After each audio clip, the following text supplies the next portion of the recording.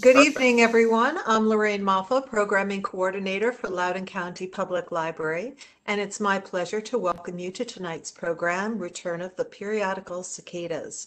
Please feel free to use the chat box to send me any questions or comments you have during the program, and I can relay them to our speaker during his presentation. It's an honor to have with us tonight Michael Raupp, a professor emeritus and fellow of the Entomological Society of America. Mike is a regular guest on NPR, was featured on National Geographic and the Science Channel, and has appeared with media luminaries included Jay Leno, Dr. Oz, and Kojo Nnamdi.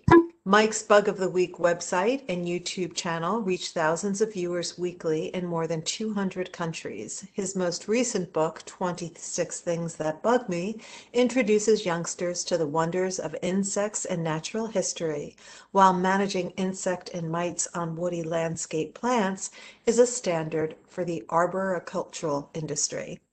So we're so excited to hear about cicadas, Mike. Oh my Thanks for joining us tonight. Thank you so much, Lorraine, and uh, Welcome. thank you folks for inviting me into your homes this evening uh, to tell you a few bug stories. So, uh, I've already had several phone calls this year and several emails from people as far away as California, knowing when they should come to Washington, D.C., Maryland, and Northern Virginia to witness the Brood 10 periodical cicadas. So get ready. The tourists will not be looking at the Washington monuments. They will be looking at things like cicadas, and they're just around the corner. So with that, let's dive in and talk a little bit about what we'll see over the next two months. I want to take you on a little historical journey first. I'm going to take you back to 1633 to the second governor of the Massachusetts colony, William Bradford. Here's what William Bradford had to say about periodical cicadas. All the month of May, there was such a quantity of a great sort of flies, like for bigness to wasps or bumblebees, which came out of holes in the ground and ate green things and made such a constant yelling noise as made all the woods ring of them and ready to deaf the hearers. Well, you can tell even back in 1633 that our politicians were prone to hyperbole. It's really not going to be that bad.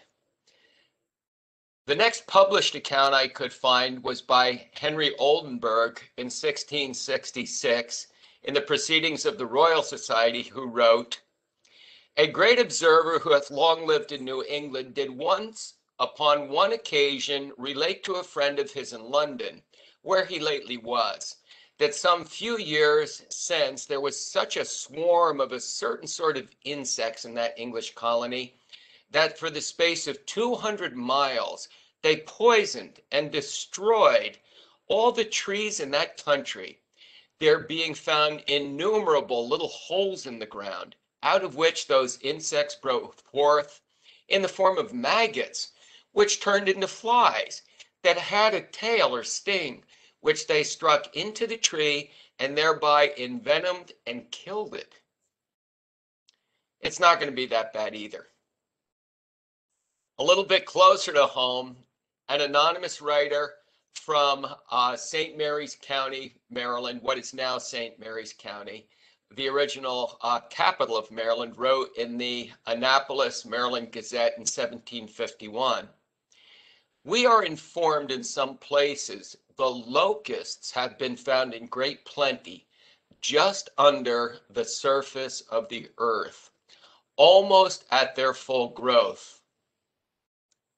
May God avert our impending calamities. So, here they are. They've arrived in a new world, escaping religious persecution in Europe.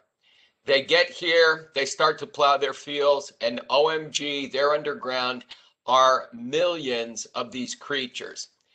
It feels like you're back in Egypt and this is the, the eighth plague. So the plague of locusts.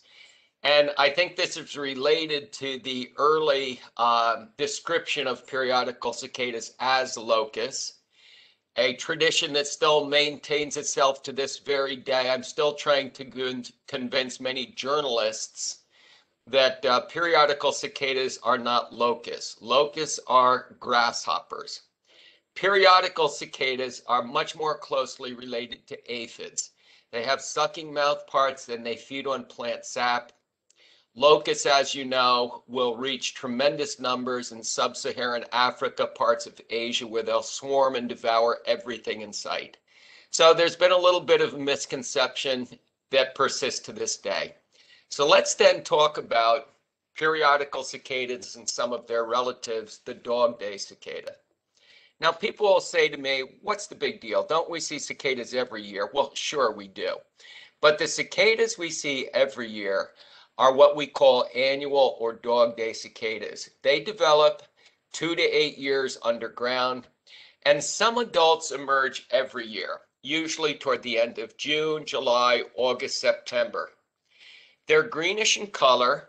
They have bands to break up their body outlines, and their strategy for survival is what I call stealth and speed.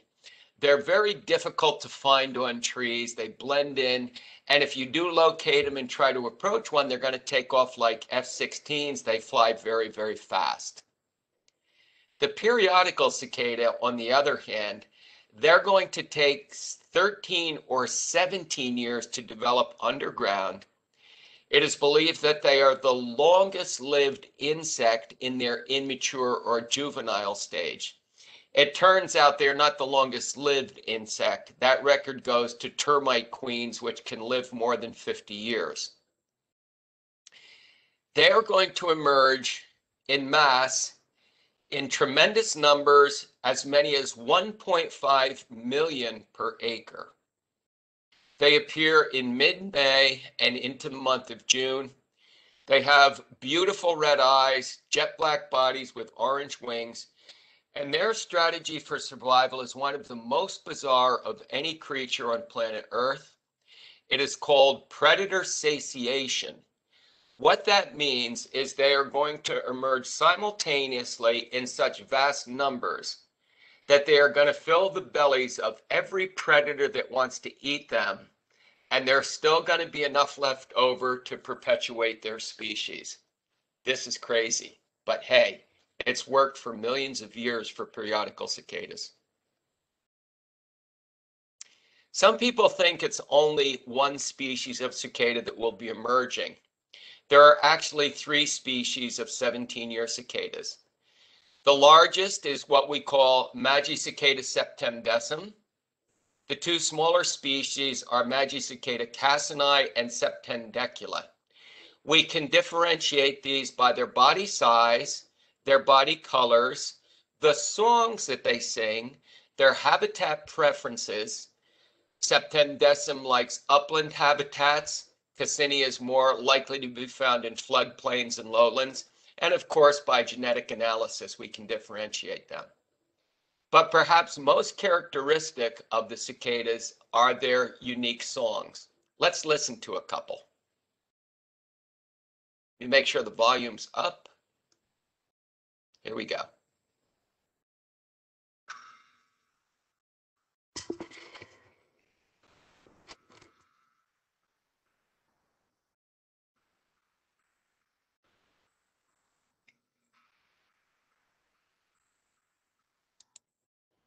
Let me see if I can raise the volume for just, a, well, we'll, we'll proceed this way.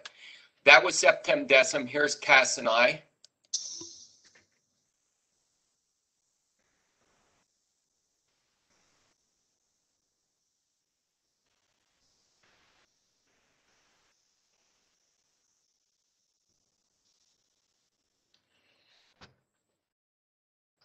here in our region, the least common is what we call septendecula. This one is more common in the south.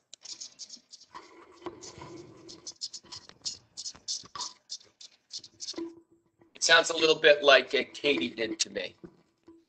Hey, Michael, we didn't hear the first two for some reason. The third right. one came clear. Can you try it one more time? Let me try this. I'm going to try to raise my speaker volumes Okay. here. And everybody who's listening, maybe raise your speakers too. Now, here we go. I'm gonna blast you out of here. Thanks, Lorraine. Here we, here we, get ready. Here, here we go, gang. Put, put your earplugs in.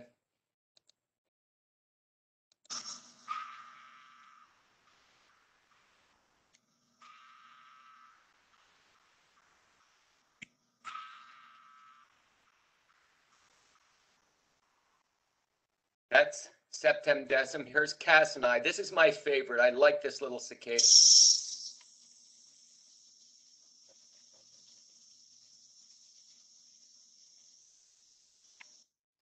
Sounds like a short circuiting high tension wire. And here's Septendecula. Sounds like a katydid.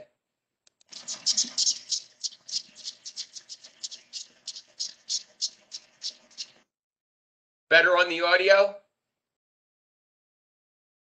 Yeah? Did folks hear that? Do you still hear me? Lorraine, are you there? Yep, I'm sorry. Yes, we heard that one. Thank you. Yep, that was great. Thank you. Okay, all good. The uh, 13-year cicadas have four species. And again, we can differentiate those by their size, by their color, by their songs, by their habitat preferences, and of course, by genetic analysis. Now, people will often ask, what is a brood of cicadas? A brood simply means that in a relatively well-defined geographic region, the cicadas that emerge synchronously at intervals of 13 or 17 years. So it's a well-defined geographical vast emergence of periodical cicadas in those uh, 13 or 17 years. There are actually 15 broods of cicadas total. We have 12 broods of 17 year cicadas and three broods of 13 year cicadas. We keep track of these. The early cicada researchers uh, gave them Roman numerals to differentiate between the various broods. It just so turns out that brood 10 is also known as brood X, as in X Files, Extreme, Extra Special, which kind of makes it even more mysterious. There are two broods, brood 11, which used to be up here in Connecticut, and brood 21 down here in Florida, which have gone extinct in recorded history. In our particular region, including Northern Virginia, you'll actually have one more than we do here in Maryland. You'll have brood one, brood two. You will have uh, brood five, of course, brood 10. You're also going to have, uh, share with us brood 14 and brood 13. So again, many, many different cicadas. At any given year, in some place in the country, there is a brood of cicadas emerging. Some people think it's only 13 or 17. No, there are different broods emerging in different locations almost any year in the eastern half of the United States. This is the only place on planet Earth where this takes place. There are other periodical cicadas.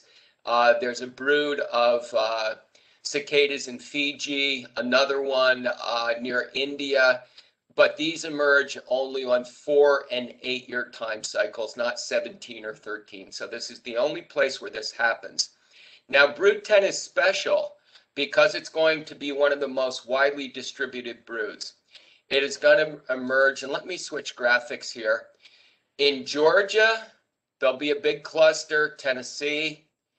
In our region, going from Northern Virginia, West Virginia, Pennsylvania, Maryland, in a band up through New Jersey to Long Island, and another big cluster out near the Mississippi in Ohio, Indiana, and Illinois. So this is one of the largest broods uh, of periodical cicadas anywhere. The other piece that makes this special, of course, is you're simply going to have billions, if not trillions, of periodical cicadas interacting with tens of millions of human beings in the greater metropolitan areas here on the East Coast. And that's part of what makes this Very interesting.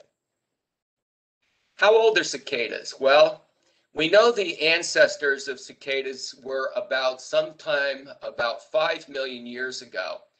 At about 3.9 million years ago, the clan split into the Decim group and the Cassini-Decula group. This branch of the evolutionary tree then split once again into Deculas and Cassinis about 2.5 million years ago. But the 15 extant broods that we have today is relatively recent. This only took place in the last 500,000 years, off and on during periods of glaciation here in North America. What controls the plasticity or the basically the formation of these different broods physiologically, genetically is not unknown. We'll talk a little bit more about some hypotheses about how these broods evolved in just a moment. Why did we see cicadas unexpectedly in 2017 and 2020? In almost every brood of periodical cicadas, including brood 10, there are certain members of the brood that emerge either four years early, four years late, or one year early or late. These ones are called stragglers. Periodical cicadas are time travelers and they make common jumps of four years. So the cicadas we saw here where I live in Columbia, Maryland, in 2017, we had a whole bunch of brood 10 cicadas up and out of the ground. What we believe has happened to create the 15 extant broods is they've made time jumps. So if you can imagine brood 14 cicadas making a four-year time jump, they create brood 10. Brood 10 makes a four-year time jump, creating brood 4. Brood 4 makes a four-year time jump, making brood 2. And a single year time jump at any point would create something like a brood 3 or a brood 1. And we believe that it's this time jumping that cicadas do that have created the various broods we see this day. I want now to talk about synchrony, their long life cycles, and prime numbers. Now, all creatures on planet Earth have to synchronize, right? Hey, if you come out one year uh, too early and you're a guy, and the girls are showing up one year later, you're in trouble. It's simply not going to work. So synchrony has to happen in order for you to find mates. Now, for their bizarre strategy to work, they must emerge simultaneously to overwhelm their predators, correct? So if they emerge one year early, they're going to be eaten into oblivion. If they emerge one or two years late, perhaps they are eaten into oblivion if they don't emerge in massive numbers. It's a safety in numbers game. The proof of concept was done by one of the early cicada researchers, a scientist named Marlatt. He's the one that created the Roman numeric system for identifying the broods.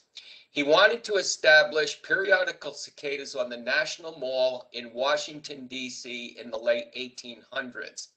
So he brought thousands of cicada eggs to the National Mall, released them in front of the USDA building under a big tree. And sure enough, 17 years later, they emerged right on time. However, the birds on the National Mall swooped in, ate every single cicada into oblivion, oblivion, proof of concept that if you don't create the massive numbers, you cannot succeed.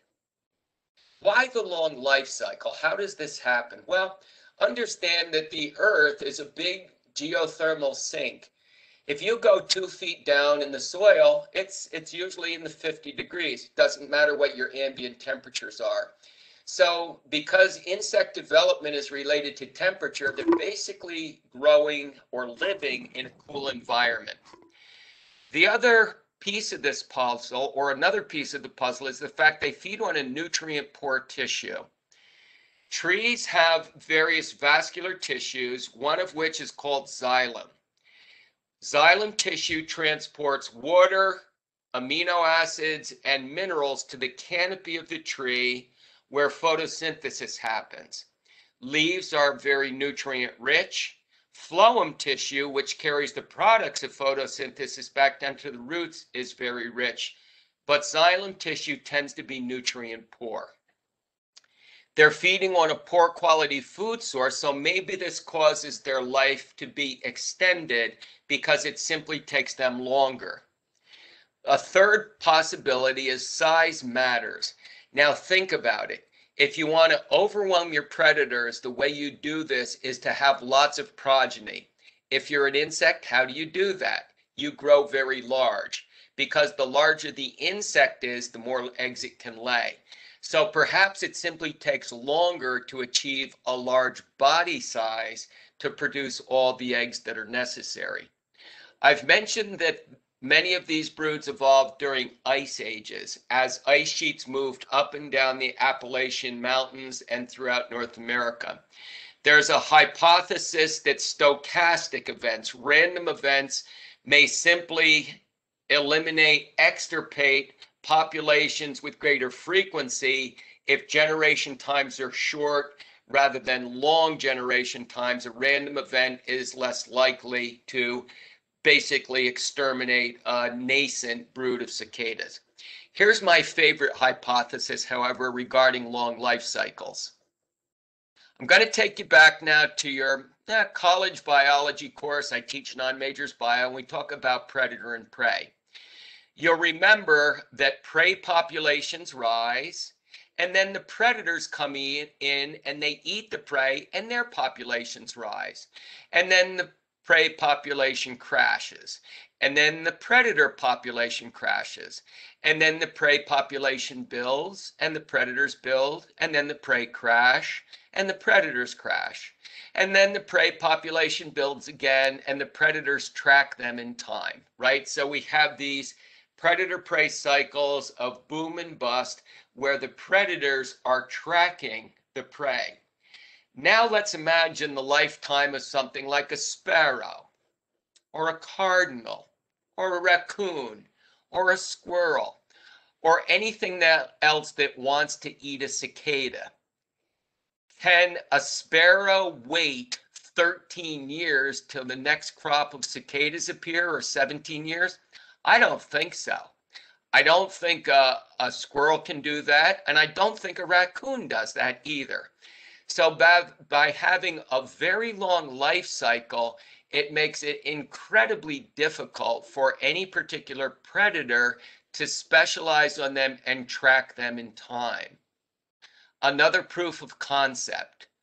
You may be familiar with cicada killer wasps. I am because I have several nesting sites for these things in my lawn and flower beds. What the cicada killer wasp will do is it will build a gallery in my flower bed. It will tunnel down and create chambers. After the chambers are created, after the galleries are complete, the cicada killer wasp will emerge and it will fly into the treetops to hunt dog day cicadas, annual cicadas that emerge and appear every single year.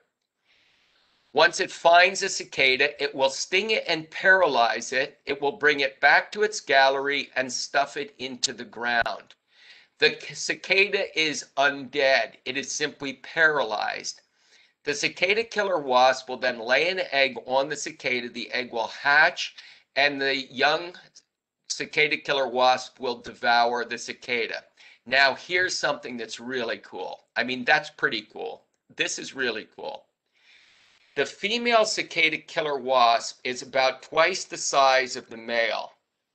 If she wants to have a daughter, she will catch three, two or three cicadas paralyze them and put them in the hole and then lay a female egg because it's going to take two or three cicadas to make a daughter.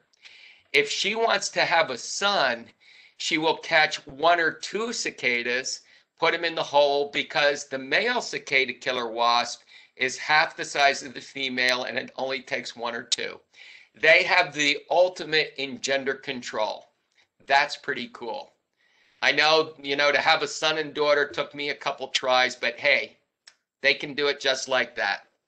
Proof of concept that if your prey are predictable, if they come up every year, you can track them and you can specialize on them. This is something you cannot do with something that appears only 13 or 17 years. Why prime numbers? Well, as you know, prime numbers are only divisible by themselves in one. The clever mathematical modelers have created models where we have interacting predator and prey, random mutations in prey incubation time, in other words, the number of years a cicada would take to develop, and predator starvation time, the number of time intervals or years it would take for predators to starve to death.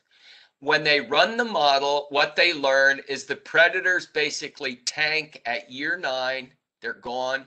However, the periodical cicadas are still chugging along in prime number years of 11, 13, 17, and 19. Well, that one's a little bit above my pay grade. But here's one that I think might be a little bit more easily understood.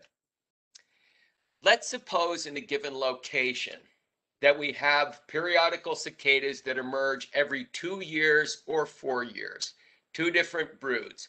That means that every two years, they are merging simultaneously and interbreeding. Now let's imagine that the hybrids, right? The hybrids could be emerging in year one, two, three, or four. So we're going to create hybrids that are emerging over broader period of times. What that does, as Fauci would say, is it flattens the curve, increasing the distribution in time, but shrinking that massive emergence they depend on. So if there are hybrids the predators may simply eat them into oblivion. There may not be enough to emerge simultaneously to overwhelm the predators. Now, because they emerge only in years, prime number years 13 and 17, they will emerge sometimes simultaneously, but it only happens once every 221 years. Kind of cool. How do they know? They've been underground for 17 years, living a COVID like existence. It's dark down there. There aren't any visual cues. They're social distancing, trying to space out so they don't compete with each other. It's got to be dreary under there. How do they know? Well, remember what I said. I said they feed on the xylem fluid of plants, deciduous trees. Now let's think about this for a minute. In the winter time, deciduous trees have no leaves. So there is no xylem that's flowing up to those leaves. But this time of year, when the leaves put out, when the trees put out their leaves and photosynthesis happens, the trees begin to draw water and minerals up through the xylem. So if you look over the course of a year, there'll be times when xylem pressure and flow increases, and then in the fall it decreases. Spring it increases and then decreases. So perhaps periodical cicadas are able to track the annual fluxes of xylem flow, plant hormones, or nutrients. So they're simply underground counting. One, two, three, 14, 15, 16, 17. Another possibility is there's a yet unknown molecular clock that simply ticks off those years for cicadas. We all have circadian rhythms, rhythms that vary at, during the 24-hour cycle. I know I wake up at 5:30 every morning. It doesn't matter what time I've set my alarm clock to. That's when I wake up. So, molecular clocks could be tracking fluxes of nutrients in their plants. These are two hypotheses about how they keep long-term time what are we going to see or what are we going to see? What is happening right now in the world of the periodical cicada? Well, I first began to get phone calls back in March about raccoons excavating people's lawns, digging holes. I then looked out in my backyard and I found the fox digging a 30 foot long trench underneath my trees to expose cicada nymphs. They have excellent noses, they can smell the cicadas. I had a report of a golden retriever digging up somebody's yard to eat cicadas. Right now, if you think you have cicadas or if you had them back in 2004, you can go out underneath your trees and brush away the leaves. And what you're going to see are the exit holes of the periodical cicadas. So a month or more after they're going to make the jailbreak from the earth, they'll create their exit galleries or exit holes. Sometimes they will put little mud caps called mud turrets over the top. We don't know whether that keeps out predators or keeps out rain. We usually see these more in wet areas or right after rainfall. And if you go out in your garden right now and lift up a, a, walking stone, a garden slate, or something like that, don't be surprised to see periodical cicadas building their galleries as they try to work their way to the edge. There will be vast numbers of periodical cicadas. This is one square foot in my backyard under my maple tree. There are 30 holes per square foot. That translates into about 1.2 or 1.3 million cicadas per acre. A lot of cicadas are coming out of the ground. The short-term cue they use is a soil temperature of 64 degrees Fahrenheit at the depth of 8 inches. This signals to the cicada that the world is now warm enough. Leaves will be on the trees. It'll be 70, 80 degrees. It will be warm enough for them to get up and out of the ground, climb up on the trees, shed their skins, escape predators, become adults, go into the treetops, join the big boy band. Remember, these are teenagers. They've been underground for 17 years. When they get up and out of the ground, they're going to go want to go party. There's going to be music up in the treetops. There's going to be women. They're going to be courting. 64 degrees signals that it's time to get up and out. We'll begin to see this emergence from the soil, usually at dusk. As nightfall comes, this is probably a way to escape the hungry eyes of different types of predators. And if we go out, we'll see them making a jailbreak from their subterranean crypts.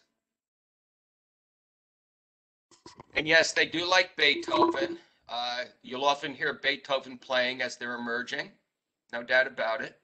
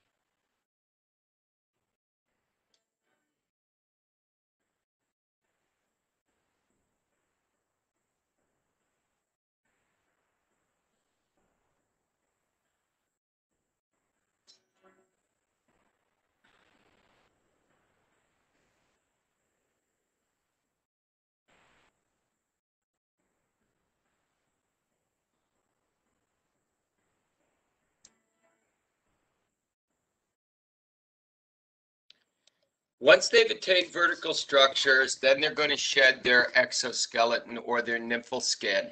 They'll attach to the trees. They've got little claws on their front legs to help them grip. There's going to be a lot of cicadas. Hey, Mike, can you explain the holes again? If they did not emerge yet, how do they make them? They simply tunnel up. In other words, their front legs, let me get on this image right here. See these front legs? They're like little shovels. They're like spades. So what they do is they move the earth, they build a tunnel. They're basically tunneling up through the earth to make that hole. Because when the soil temperature hits 64, they have to get up and out. So the tunnel is created almost a full month in advance of when they're coming up. Remember, gang, they're they're 18 inches underground feeding on roots. Somehow they have to get from 18 inches below up to the surface of the earth. The only way you do that is to build an escape tunnel. So what they've been doing for the last month is basically when the soil is moist, they will carve it and they will shape it and they will press it into a tunnel. So when the temperature hits 64 and everybody's escaping, making a jailbreak, they can get out of the earth. Does that explain it? Yes, thank you very much. You're welcome. Good question. So this is all done in advance of the big emergence. Once they're on the tree, their exoskeleton will split down the main line right here in the back. They will then contract their muscles, which causes their blood, their hemolymph to expand. They will pump up like Hans and Franz, and they will push themselves out of their exoskeleton. The adult will then hang backwards. Once she has her rear end out, she will lean forward, come all the way out, or he, and then they will pump blood into their wings to expand their wings. In my opinion, this is the point in time when cicadas are very beautiful. Uh, these are also soft-shelled cicadas, and we'll talk about eating cicadas a little bit later. Looks like an action hero. It, they're very cool. Um, so in a four to six day period, then the exoskeleton is going to begin to harden once that hardens, then they'll be able to fly, get up into the treetops, make their sounds, and begin the courtship.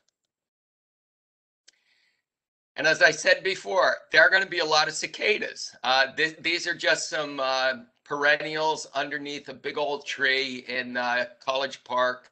And it's not at all unusual to see literally hundreds of cicadas emerging from the ground overnight and molting and then working their way up to the treetops. They're not going to be feeding on these plants. They're just going to be shedding their skins.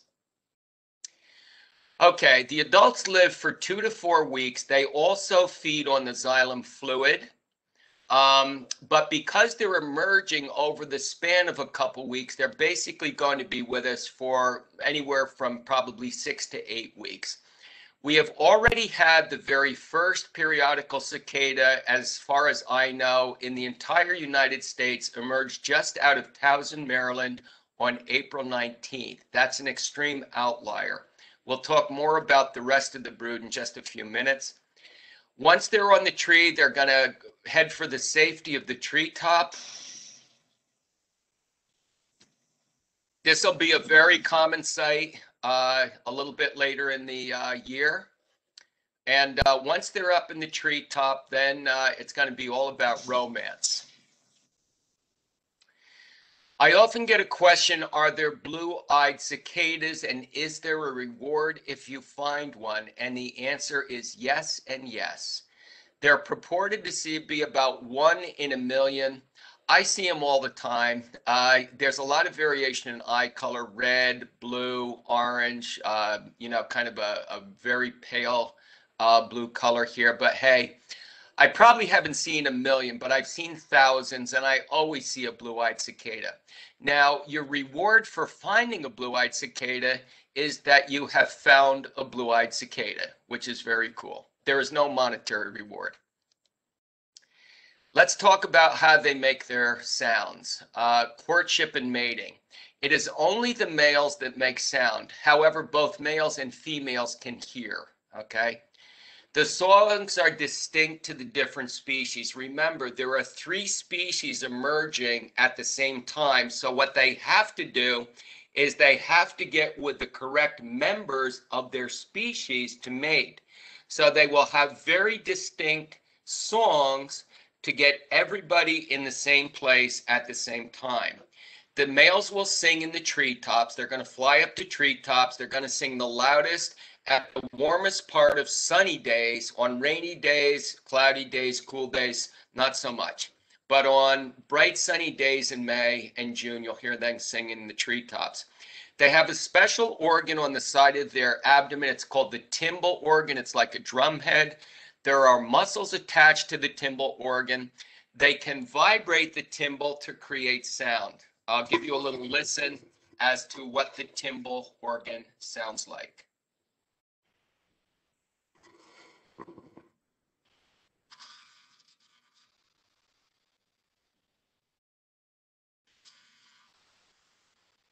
No, we're not getting that.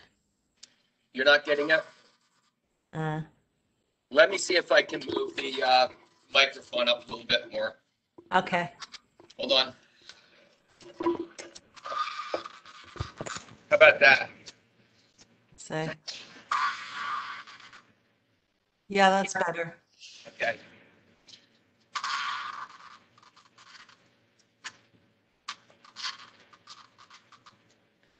By the way, no cicadas were harmed in the production of this uh, presentation.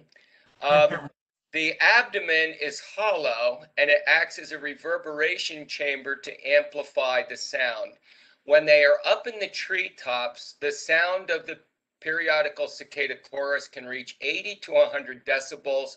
That's the sound of a lawnmower engine or a jet aircraft going overhead.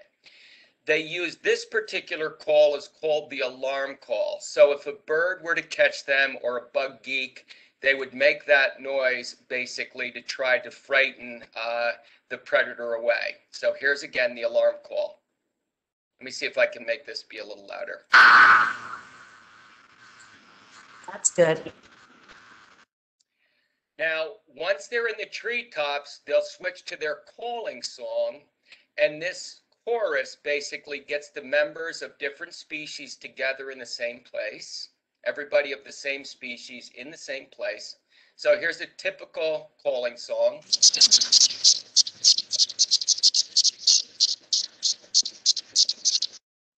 Once everybody is together, males and females of the same species, they will go eyeball to eyeball. And then the male, it's going to be all about romance. And this is very romantic. He's going to use his very best performance to try to convince that special someone that she should be the mother of his nymphs. Here's what a courtship song sounds like.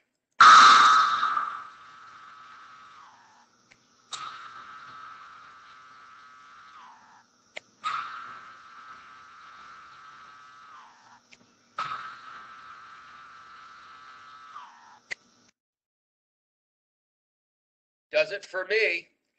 Uh, if she likes his performance, if he's the one, and if he's won her over, she's going to signify her acceptance by flicking her wings and making a little clicking sound like that.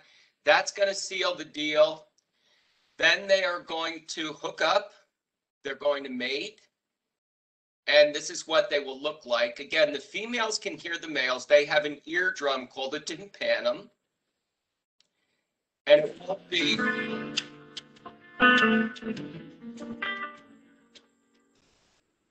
got to switch the tune a little bit here. Uh, now it won't be at all surprising to see males and females in copula for long periods of time in the treetops. Uh, this particular um, shot I made was actually in a graveyard in Lorton. Uh, hey, romance happens everywhere. Uh, you can see the male was getting a little bit shy about the paparazzi being there. Um, you can tell the males from the females. Let me tone this down a little bit. The males will have a rounded abdomen. The females will have a pointy abdomen. This is what we call the ovipositor, and this is the appendage the female will use to put her her eggs into the trees. We'll talk about that in just a minute. Once she has been fertilized, she'll move to small branches the size of my pinky. She will use her ovipositor to cut slits in these branches. She will then deposit 20 to 30 eggs in each egg nest, and she can lay from 400 to 600 eggs total. The eggs are going to mature in four to six, uh, excuse me, six to 10 weeks. They're going to tumble down to the ground, and then the small nymphs are going to dig in. We'll look at those in a minute.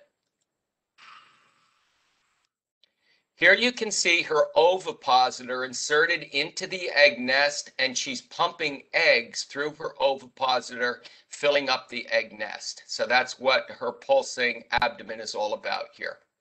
She's laying her eggs. After six or 10 weeks, the tiny nymphs the size of a grain of rice will hatch. They will tumble down to the earth, bounce twice, and then dig in and find small roots and begin to develop underground for 13 or 17 years. Oftentimes, when I'm working in my garden, I will dig up periodical cicada nymphs. This is what they look like. This is one about halfway grown, probably been in the ground maybe something like six or seven years. When will we see cicadas? Using data I collected last year from a citizen science app, I analyzed the data and published a paper. Here's a summary. The very first cicada out of the ground last year occurred just outside of Towson, Maryland on April 19th, almost exactly the same date in almost exactly the same place that we saw the first periodical cicada of 2021. They must be feeding them very good food up there, or it must be a little bit warmer. We'll begin to see them trickle out during the first week of May. They will then crescendo reaching their peak emergence during the last two weeks of May. So by Memorial Day weekend, 75% of the cicadas will be out of the ground, up in the treetops, having a cicada palooza, having romance, uh, laying eggs, and carrying on. And then as we move into June, by the second, third week of June, the last will have emerged. And by July 4th, all the cicadas for this year, the adults will be gone. These have been called poor defenseless species, never seen animals more entirely stupid. They're predator foolhardy. So periodical cicadas are not very clever at, at getting away from uh, predators. Here you can see a predatory stink bug, an animal that must be only one-tenth the size of a periodical cicada subduing and killing it. It's got its beak inside the cicada, feeding on its fluid. Birds are going to love these things.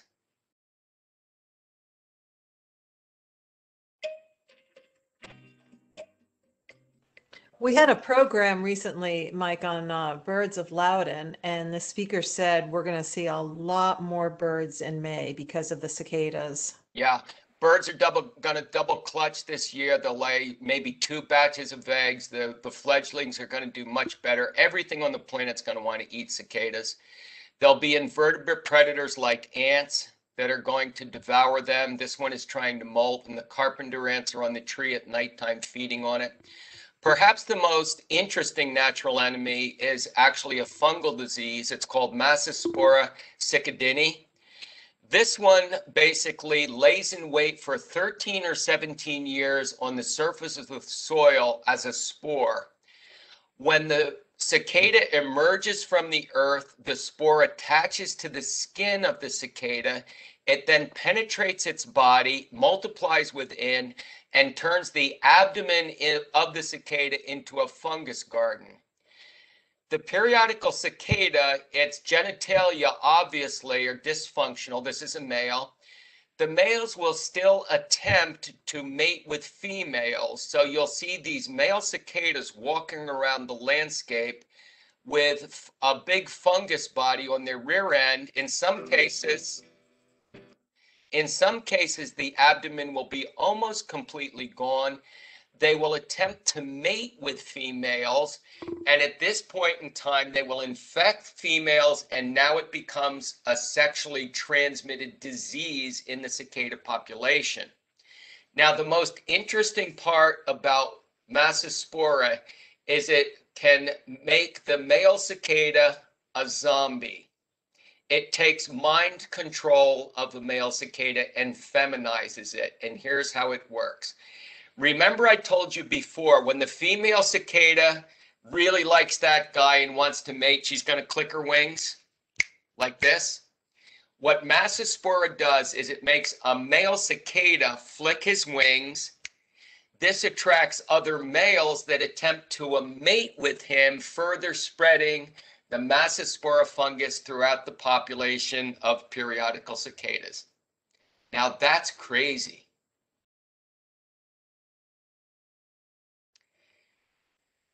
Creatures are going to eat cicadas, no doubt about it. Raccoons, foxes, squirrels, turtles, birds, uh, all kinds of creatures. Humans are going to eat cicadas. I certainly will be snacking on a few. You'll be able to buy cicadas and dine on them as a as a delicacy. Good on top of a pizza. And dogs too, right? Uh, dogs, like dogs are going to love these things. We'll talk more about your dogs in just a minute, but yeah, they're going to love them. But the really cool thing here, their final act of contrition is when they die, they're going to rain down on the very plants from which they were spawned and fertilize those plants. Insects uh, like ants and other uh, basically insects in, involved in decomposition are going to feast on cicadas. So fundamentally, cicadas are little geniuses of transferring materials and energy up and down food webs. For 17 years, they take from the plant. In the 17th year, they give back to everything that wants to eat a cicada. And when they die, their little bodies are going to fertilize the very plants from which they were spawned. Trees will actually grow better in the years right after cicadas. In addition, these holes are going to go down a foot into the soil. They could be as many as 30 per square foot. They're going to last for several years. That's going to allow for tremendous soil aeration and water infiltration. So there's a lot of things that cicadas do. Now, So that what, kind of um, answers a question someone was asking. Do they destroy the plant and trees to which they're attached? well, here we go with that one. Let's do Okay. that. Remember the egg nests? They're going to attack more than 200 kinds of woody plants. As you can see, some of the very common ones in our landscapes. Now, what we know from scientific studies that mature established trees are going to basically walk right through this. There's going to be no long-term effect. They're not mm-hmm. going to have a reduction in radial growth or survival. After a few years, they'll be just fine. The trees we are worried about are these ones right here, small saplings. This tree will be fine. This tree will not be fine recently transplanted trees, small trees that have very open habits, lots of branches the size of my pinky, exactly what cicadas want, will be heavily damaged in areas where there are cicadas. Look in the background here at these locust and cherry trees, virtually no damage in the same habitat. This is what the cicadas want. When they lay their eggs, it will cause the branches to weaken and snap off or flag, creating that brown uh, appearance that we just saw. We call this flagging. What can you do? Well, you heard you could wrap them in mosquito netting or tree cloth or uh, cheesecloth. You, people have said put sticky bands on your trees. Well, don't do that because you could interrupt some cicadas. But remember, they're going to fly up to the treetops to the cicada palooza. They're going to mate. Then the females are going to fly to other trees to lay their eggs. So putting a band on this tree isn't going to stop the females from coming and laying eggs. So I don't think this is a good idea. You will find pesticides in uh, the big box stores that have cicadas on the label. Don't do that. Here's why. Several scientific studies, including studies of my own and studies by Henry Hogmire, clearly demonstrated that with young fruit trees, if you net trees with cicada netting, one centimeter mesh size, you can totally eliminate, almost totally eliminate cicada damage. If your net is 2.5 centimeters, about an inch, the cicadas can get through. And if it's five uh, centimeters, they're going to get through and lay eggs. This, in contrast, this contrasted with multiple applications of synthetic pyrethroids and organophosphate pesticides every three days didn't keep cicadas off. So do not spray your trees with pesticides or hire somebody to come in and spray your trees with pesticides. You're going to harm your beneficial insects, your pollinators, and you're not going to stop the damage. I repeated this experiment with a neonicotinoid insecticide in 2006 and found exactly the same thing. My netted trees, no damage. My pesticide trees, damage. This is a typical netting. Okay, it cost us back in 2006 about $6 of material. We could net a tree in about 20 minutes. Uh, there's a website that has, uh, I'll talk about in a minute, that has a six minute video that shows you how to net a tree to protect it. Again, your pesticides are not going to be good for the beneficial insects and uh, the other creatures that live in your landscape. Now, some people have said netting can create problems. Birds are going to get caught in it. Reptiles, snakes are going to get caught in it. This is my experimental plot. There were 30 netted trees. I did not have a single tree where a bird got caught, a cicada got caught, or a reptile like a snake got caught. Obviously, if you have a bird nest in the tree, don't net the tree, right? But if you net it like this so creatures can't get up and inside the net, I think everything's going to be fine. Other things you can do. Don't let your pets eat too many. Okay, cats are going to love these things. Your golden retriever is going to let eat buckets if you let it. Please don't do that. It's going to cause uh, too many cicadas will cause uh, digestive problems on either end, and you're they're really going to mess up your rugs in your house. So don't let them eat too many. A few is okay. You can skim your swimming pools. Uh, otherwise, they'll clog your filters. Eat some if you like. I certainly will be eating cicadas at some point in time. Uh, a few years ago, um, I had done a show, uh, part of the Today Show, and somehow Jay Leno's uh, producers saw some of my outtakes when I was clowning around. And I got a phone call from the producer, and she said, Well, how would you like to come to California and see if you can get Jay Leno to eat a cicada? And I said, How can I resist? So I smuggled a couple dozen cicadas in my carry on on Southwest out to California to Hollywood, um, where they were doing the shooting. And uh, I played the part of the scientist. This, the producer said, okay, look, um, offer some cicadas, eat one yourself, offer them to Jay, and offer them to the other guests. I said, all right, I can do that. So I did the part of the show where I've just done with you and played uh, the scientist. And then uh, we came to the part of the show where Leno says, he says, well, Professor Raupp, does uh, anything eat cicadas? And I said, sure, Jay, look at this. And we had about six cicadas lined up on a little skewer. They were roasted, they were seasoned, they looked pretty good. So I popped one in my mouth. I said, mmm, they've got a buttery texture, you know, a nutty flavor. They're really good. And then I turned to offer one to uh, Jay Leno. The other guest that night happened to be Russell Crowe, who had just finished the Superman movie. So as I leaned over to offer one to uh, Leno, uh, Russell Crowe whispered it behind me, says, I'm not going to eat that, mate. So I pointed the uh, skewer at, at Jay and I said, Jay, I'll give you a dollar if you eat a cicada. He grabbed one, he popped it in his mouth, and he said, mm, These are better than Cheetos. And then he took the skewer and he pointed it at Russell Crowe and he said, Superman's father, like this. And Russell Crowe said, No thanks, mate there are no cicadas on Krypton. So they're better than Cheetos. There aren't any on Krypton, but they're going to be some in your backyard. So if you want to snack on cicadas, uh, I think that would be something interesting to try. Some people are going to fear cicadas, and I take this very seriously. I get it.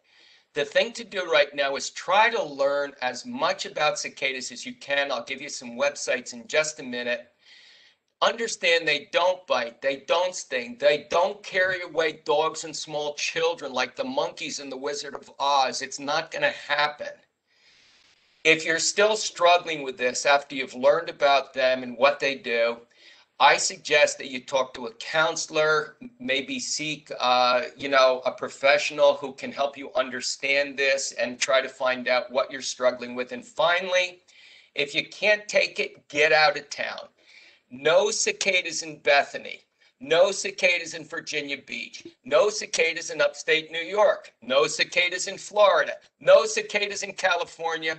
I've already recommended several people take that cicada vacation, get out of town for a couple weeks. You're going to be okay. If you want to help the scientists, you can download this free app. It's called Cicada Safari. That data I showed you earlier about the emergence peak, this is data that I used from Cicada Safari. I published a paper on this earlier this year talking about using this data that citizen scientists collected. You're going to download it to your iPhone or your Android, snap a picture of the cicada. It's going to come back to us. We're going to vet that picture and we're going to know the geospatial, where you took the picture and when. This is going to allow us to find out exactly where and when cicadas are emerging. It's going to be great for kids. It's going to be great thing to do with kids or just give them the iPhones. They know how to use them. If you want more information, you can go to our website. Right now, I'm teaching a course with my colleague, Dr. Shrewsbury, on scientific outreach using uh, periodical cicadas as a model. The students have called themselves the Cicada Crew. If you go to the Cicada Crew website, it's got frequently asked questions. It's got all kinds of resources and links. It's got pictures of cicadas you can use uh, for your uh, trainings or teaching. It's got my videos of cicadas, many of which you've seen tonight. Uh, and uh, it's also got merchandise. Uh, the students are funding their graduate studies by selling cicada t-shirts. We also have cicada onesies. We've got cicada masks. We've got cicada sweatshirts. So if you want to get in on the Brood uh, 10 fun in 2021, go there. Cicada Mania is a wonderful website of all things cicadas. Uh, I use it almost on a daily basis. The University of Connecticut has a great website of research on cicadas. And the Audubon Naturalist Society, in cooperation with George Washington University, has a website called Friend to Cicadas, where they have lots of resources for school teachers. So visit this. You can also visit my blog, which is Bug of the Week. Any browser, type in Bug of the Week. For the past month and for the next several weeks, I will be publishing studies and videos and pictures of what's going on with cicadas. You can also find the Cicada Crew on Instagram, Facebook, and Twitter. So, gang, thanks for inviting me. I hope you've learned something about cicadas. Maybe you had a little fun tonight. Uh, I hope that everybody can get out and enjoy a spectacular natural phenomenon that only happens a handful of times in a lifetime. It is a fantastic opportunity to witness Mother Nature at her very best. Hey, it's going to have birth, it's going to have death, it's going to have intrigue, it's going to have romance, it's going to have crazy things going on. It's going to be better than an episode of Game of Thrones. So go outside. The weather's getting great. It's been a nasty year with COVID, social injustice, political shenanigans. This is a time to really go out and have some fun. So I hope you enjoy the periodical cicadas.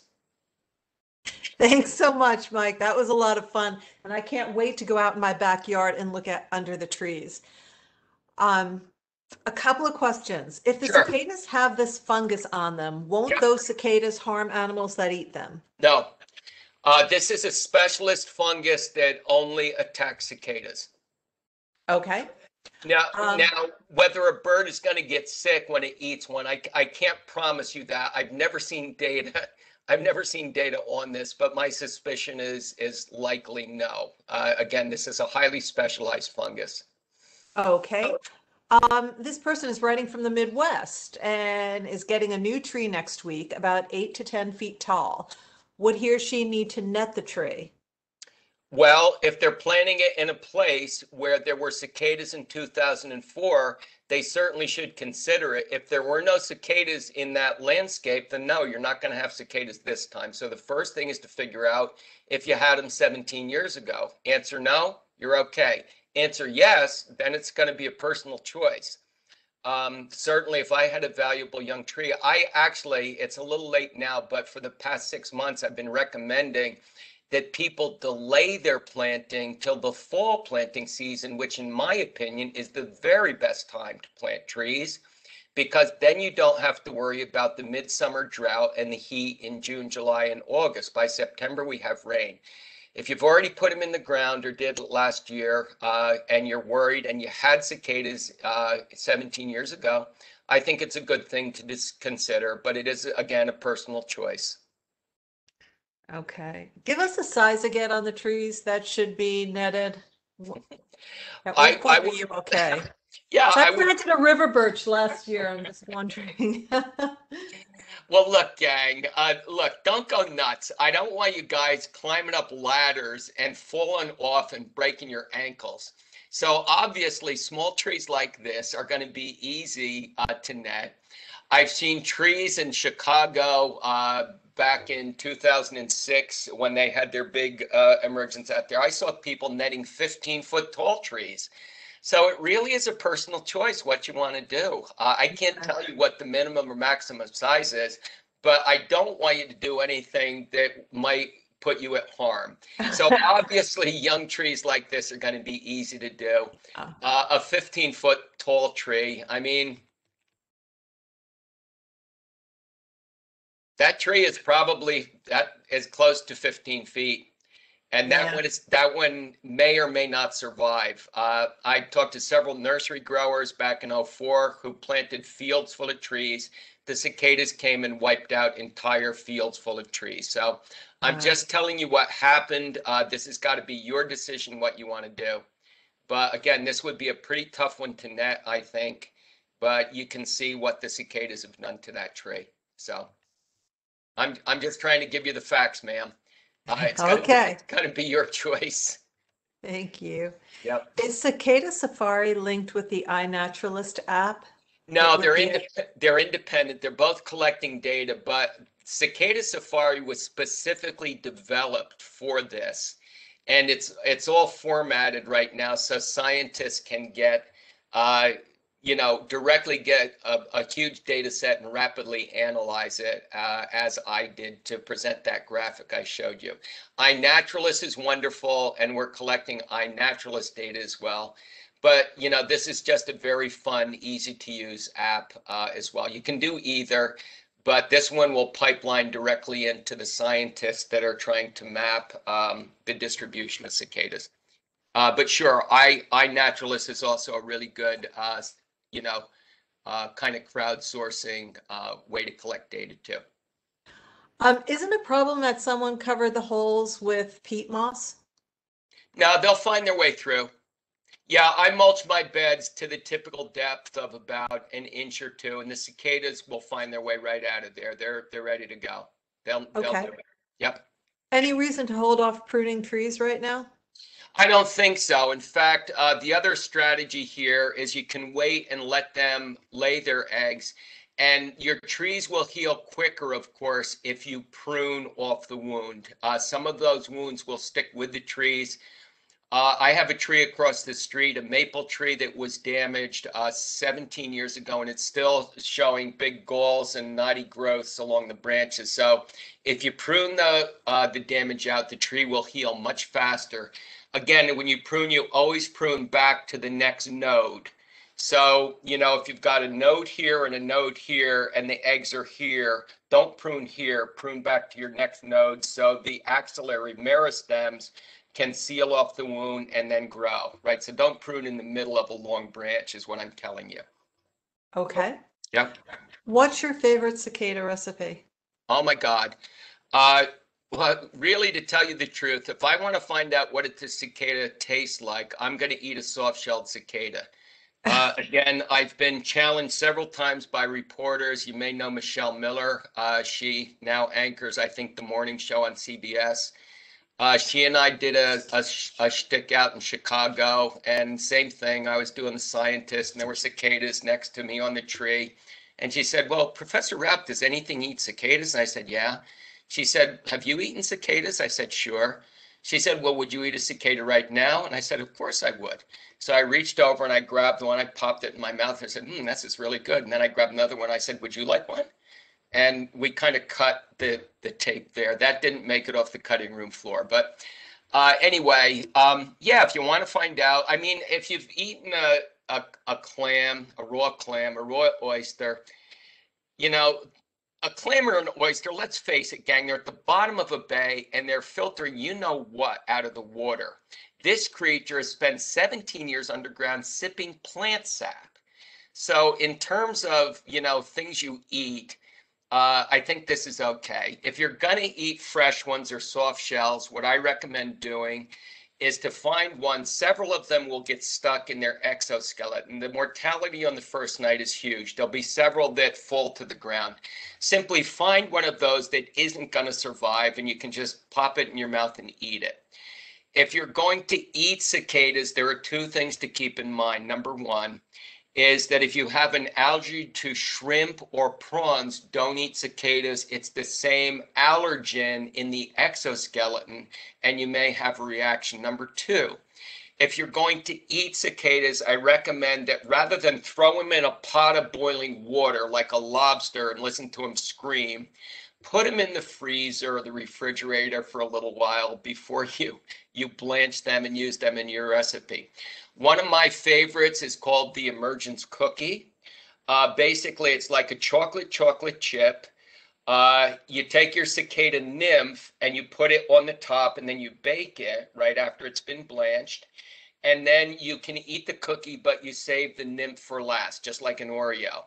Uh, another good recipe you'll find in the Cicadalicious cookbook um, is the, uh, they're called the chirper taco and gang, you know, if you put uh, if you put anything in a taco with some seasoning, uh, it's gonna taste really, really good.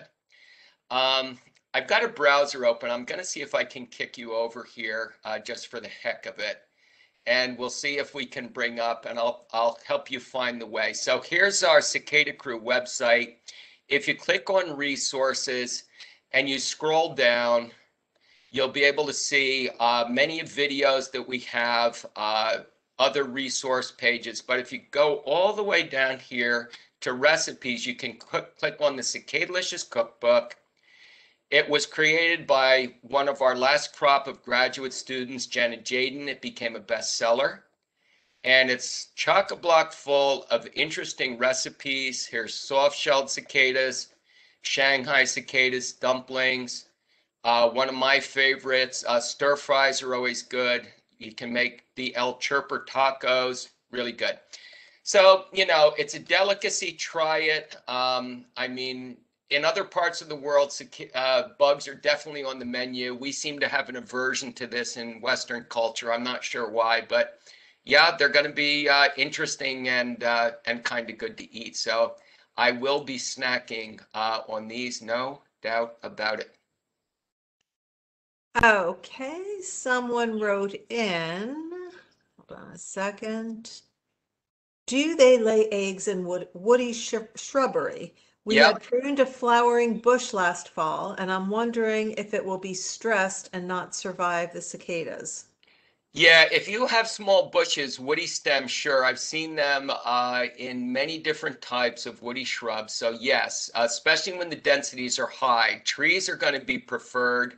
But there's no question uh, that they will lay their eggs in small shrubs as well. So uh, yeah, that that is going to happen. And uh, again, if you heavily pruned one, you might want to consider. It should be easy to net, right? If it's a small shrub, uh, should not be a problem to net that thing. Okay, um, one more question, and can you also put your first slide up so people can see your website and, Yeah, maybe. Uh, oh, Yeah. okay. I'm gonna have to, uh, no, it's okay. I think I, I think I can do this. Okay. And Uh, how can they not harm the tree for the 17 years damage they do to the roots? I, I never said they didn't harm the tree. Uh, Oh. no, obviously, no, man, when they're underground and they're feeding on plant, uh, on plant sap, they're taking from the tree. Remember I said for 17 years, they take from the tree. Right. So they're, yeah, they're draining the sap out of that tree, but again, then they're going to give it back uh, later in a different way. But sure, so yeah, that that's a burden on the tree, no question about it. So no confusion here. I've also heard people say, I've read in in garden magazines, oh, that cicadas prune trees. It's natural pruning. Well, that tree doesn't like that. I mean, come on, gang, give, give me a break. Do you think? Do you think that tree likes that? I don't Right. think so. So don't believe uh, that they're naturally pruning and not harming trees. That's absolutely not the case, right? But the trees they- will, yeah, go ahead. Will they affect the tick population in any way? The tick population? Yeah. Yeah. That's a pretty interesting question. And uh, it's a little bit deeper than you might think. So, whenever we have like a, a do you guys know what a mast year is in oak trees, for example? Uh, oaks don't always produce the same number of acorns. Periodically, they'll produce vast numbers of acorns, and other years, very few. The years they produce masts, uh, what will happen is one year downstream, because there's a superabundant resource, things like small rodents like the white-footed mouse, which is the reservoir host for the Lyme disease agent Borrelia burgdorferi, their populations will increase. And research done up in New York indicates that when mice populations go up, the incidence of Lyme disease goes up. I have not seen a paper on this and I've not seen a published account, but I would imagine because many small rodents, including things like white-footed mice, will be dining on cicadas, they may have the same effect on uh, these small rodents, increasing fecundity and survival. So in theory, two years downstream, we might expect to see more ticks uh, two years after a cicada emergence. Now, this is raw speculation on my part, but the other um, thing about the acorns I talked about has is published science. So it could have an effect. We really don't know. We'll just have to wait and see, I guess. Interesting. Yeah, it's got to have some effect, right? Everything affects everything. Oh yeah, we're all tied together. That's right. We sure are. Yep. Okay, any more questions before we leave today? Thank you all for joining us and for learning more about cicadas.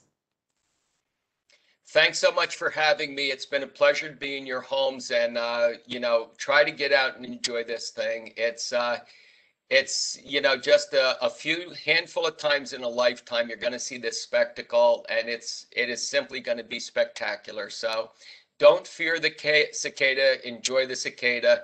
It's one of Mother Nature's grandest and most special events. Uh, so you don't have to travel to uh, Botswana or Tanzania to go on a safari. Right. You can go right in your own backyard and have a cicada safari this year. It's going to be You've fun. done enough excitement happening right in your backyard this Yep. year. Thank you again, Mike. Okay, my pleasure, Appreciate it. Lorraine. Thanks so much for having me. Have a good Sure. evening. Yep. Hold, hold on just a second, okay? Sure. And thank you again all for joining us. My pleasure.